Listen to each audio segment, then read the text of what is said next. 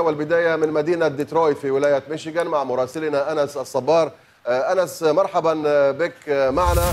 ضعنا في صورة ما يجري في ميشيغان. كان هناك حديث اليوم عن بعض التجمعات الموالية للرئيس ترامب. ربما الشرطة اعتقلت البعض منهم. ضعنا في صورة ما يجري. وهل هناك أي حديث عن المسار القضائي الذي لجأت إليه حملة الرئيس ترامب؟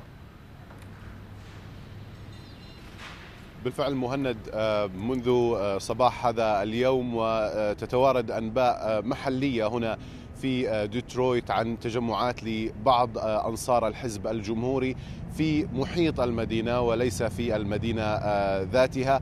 لكن حتى الآن لم يبلغ عن اشتباكات أو احتجاجات عنيفة أدت إلى اضطرابات على إثر ذلك. بالأمس كانت هناك مظاهرات تطالب بإكمال العد ومظاهرات تطالب بوقف العد. الديمقراطيون وبعض من الجماعات التي تناصرهم يطالبون باستمرار عد الأصوات وهم كانوا يدركون أن عد هذه الأصوات سيصب في صالحهم.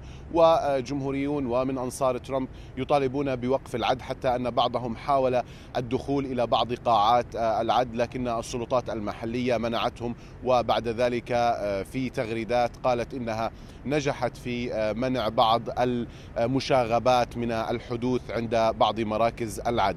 فيما يتعلق مهند بالقضية التي رفعتها وقدمتها حملة ترامب أمام محكمة في ولاية ميشيغان محكمة الشكاوى في ولاية ميشيغان. حتى الآن لم يحدث أي تطور لكن تواصلنا مع بعض الجمهوريين هنا.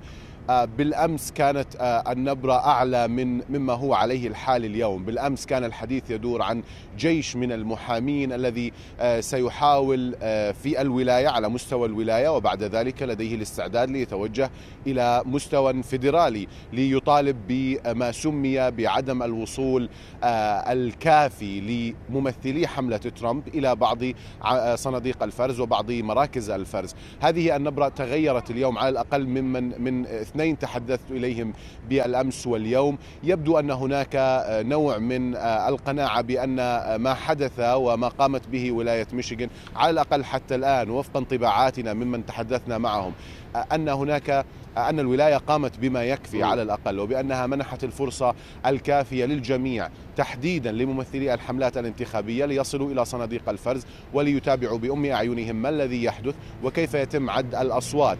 ولذلك فإن الساعات القليلة المقبلة حاسمة قد تصدر النتائج في شكلها النهائي. ونعلم أن سكرتيرة الولاية تحدثت في وقت سابق وقالت إن النتائج قد تعلن يوم الخميس ثم قالت لا ستكون يوم الجمعة. وبالتالي فإن النتائج قد تصدر هذا اليوم في وقت متأخر وحينها عندما تكون النتائج موجودة قد يصبح من الممكن أكثر أن نعرف إلى أي حد ستصل الدعوة التي قدمتها حملة ترامب ضد ولاية ميشيغان مدعية أن مخالفات حدثت خلال عمليات عد وفرز الأصوات.